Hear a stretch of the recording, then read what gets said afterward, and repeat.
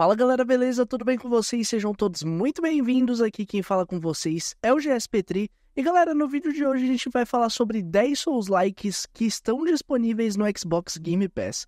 Mas antes de começar, se você puder se inscrever no canal, deixar aquele like vai ajudar demais no nosso trabalho. Mas sem enrolação, vamos pro que interessa, porque Souls-like é um gênero que acabou crescendo muito na indústria de games, principalmente com o boom de Elden Ring, né? Muitas pessoas que não tinham jogado, nunca sequer encostaram em um Souls-like, tiveram a oportunidade de jogar, por exemplo, Lies of P e Elden Ring, que são dois jogos que acabaram se destacando muito nesses dois últimos anos. E claro, galera, por conta disso, o gênero acabou crescendo mais e mais e novos títulos foram lançados. E claro, o jogo também se popularizou justamente pela sua acessibilidade, principalmente por alguns dos Souls-likes mais recentes terem um nível de dificuldade aceitável para pessoas novas, que acaba trazendo muito mais jogadores. E claro, vamos começar abrindo a nossa lista com Lies of P. Esse aqui, galera, é inspirado por Bloodborne, então é um, aquele ambiente mais sombrio, muito mais dark. Se você jogou Lies of P, com certeza vai notar essas breves referências no game. Esse aqui é a história do Pinóquio, galera, uma adição muito boa para o catálogo do Game Pass. O jogo também apresenta uma cidade sombria e criaturas horrendas, com um combate que acaba enfatizando velocidade e parry. A qualidade polida e toda a ambição do título torna um dos melhores jogos do gênero, destacando-se tanto pela sua narrativa quanto pela jogabilidade desafiadora. Essa sim é uma excelente oportunidade para você testar Lies of P que já está disponível gratuitamente no Xbox Game Pass. Em segundo lugar, nós temos Another Crab's Treasure, galera, e esse sim é possivelmente um dos Souls-likes mais diferenciados do mercado de games e possivelmente o mais diferenciado dessa lista. Isso porque aqui a gente controla um caranguejo que está em busca de recuperar sua concha, galera. Então o jogo é ambientado completamente no fundo do mar, onde a gente tem inimigos gigantes como tubarões, peixes, lagostas e por aí vai, galera. O jogo também conta com muita crítica social, principalmente pela poluição no mar. Infelizmente, esse é um problema muito grave, né? Saindo desse, dessa temática um pouquinho mais de brincadeira e falando um pouco mais sério. Infelizmente, a gente sofre aí com a poluição no mar e o jogo acaba abordando muito bem esse tema de forma descontraída mas muito, muito bacana. Recomendo pra caramba vocês jogarem Another Crab Treasure. Em terceiro lugar da nossa lista temos Flintlock The Siege of Dawn. Esse jogo já passou aqui pelo site e também pelo nosso canal. Vou deixar para vocês aí o link na descrição para vocês acompanharem nossa análise completa e também o nosso guia de platina. Mas para você que procura um Souls-like um pouco mais acessível e menos punitivo, a gente recomenda Flintlock The Siege of Dawn, até porque a gente pode, quando começa a partida, selecionar o nível de dificuldade, o que é muito interessante principalmente para novos jogadores. Infelizmente, se você jogar no modo fácil, o jogo desabilita todas as conquistas e troféus. Mas ainda assim, apesar das suas notas um tanto quanto baixas, o jogo sim é muito divertido e é uma grande experiência para você que está começando agora no gênero Souls-like. Pode parecer curioso esse jogo que a gente vai colocar na nossa lista, mas em quarto lugar nós temos Star Wars Jedi Survivor. E você que é apaixonado pela franquia Star Wars, com certeza não pode perder nada sobre esse game, galera. Até porque ele foi desenvolvido pela Respawn e trouxe uma nova perspectiva para o universo com uma jogabilidade um tanto quanto Souls-like. Jedi Survivor também melhora quase todos os aspectos do seu antecessor.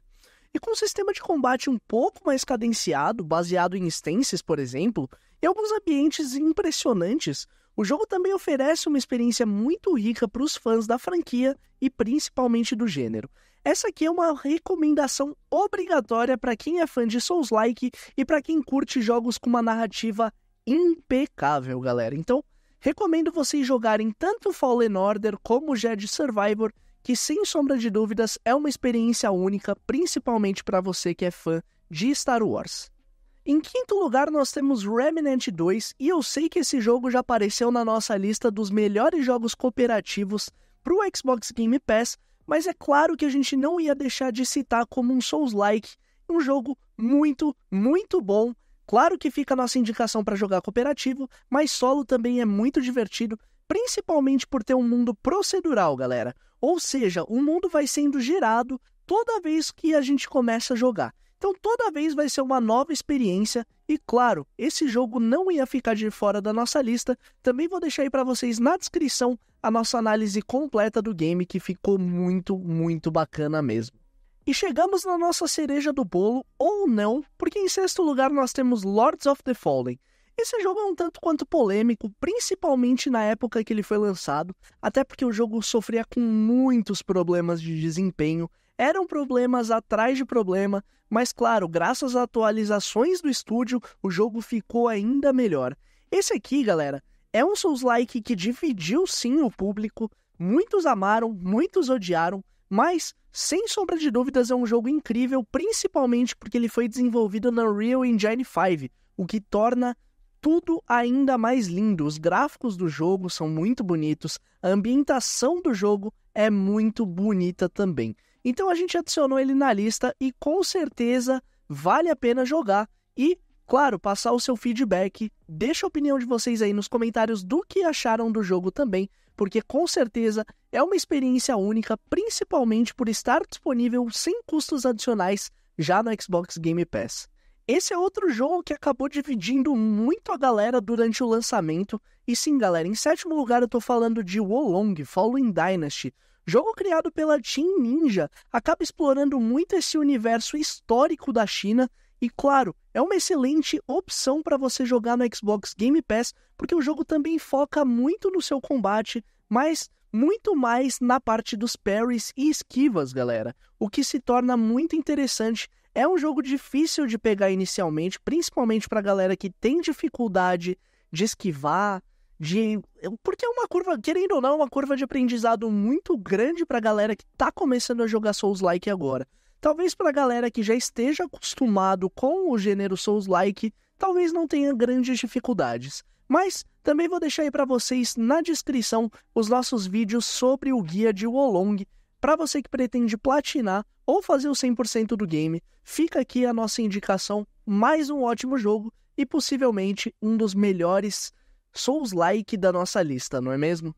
Em oitavo lugar nós temos Hollow Knight, e sim, galera, antes de vocês criticarem, embora ele seja um jogo Metroidvania, ele acaba incorporando muitas mecânicas do gênero Souls-like, o que torna o jogo muito mais interessante e muito mais intuitivo. Uma mecânica de morte punitiva, sistemas de checkpoint e batalhas contra chefes um tanto quanto desafiadores, o jogo é uma verdadeira delícia para os fãs do gênero e, sem sombra de dúvidas, um dos jogos mais populares, um dos Metroidvanias e Souls-likes mais populares do gênero.